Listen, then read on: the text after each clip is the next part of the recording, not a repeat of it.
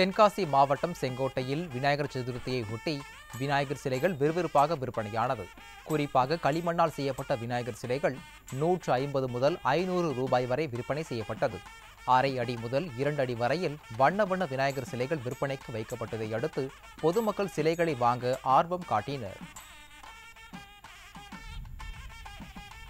ஈரோடு மாவட்டம் அந்தியூர் அருகே உள்ள பூதப்பாடியில் மேலதாளங்கள் முழங்க விநாயகர் சிலை ஊர்வலமாக எடுத்துச் சென்று ஆற்றில் கரைக்கப்பட்டது.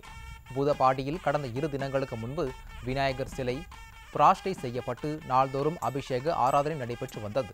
இந்நிலையில் மேலதாளங்கள் முழங்க பூதப்பாடியில் இருந்து அம்மாப்பேட்டை அருகே உள்ள காவிரி ஆறு வரை ஊர்வலமாக எடுத்துச் சென்று விநாயகர் சிலை ஆற்றில் கரைக்கப்பட்டது.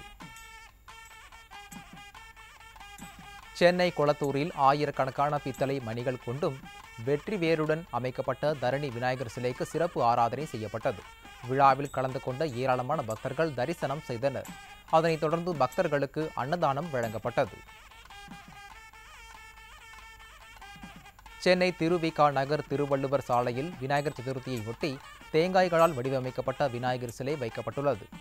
ஸ்ரீ வெற்றி விநாயகர் விழா குழு சார்பில் மூன்றாயிரம் தேங்காய்களால் விநாயகர் சிலை வடிவமைக்கப்பட்டு பொதுமக்களின் வழிபாட்டிற்காக வைக்கப்பட்டது. பத்துக்கும் மேற்பட்ட வடிவமைப்பாளர்களால் கடந்த பதினைந்து நாட்களாக வடிவமைக்கப்பட்ட தேங்காய் விநாயகர் சிலை பொதுமக்களின் கவனத்தை ஈர்த்துள்ளது.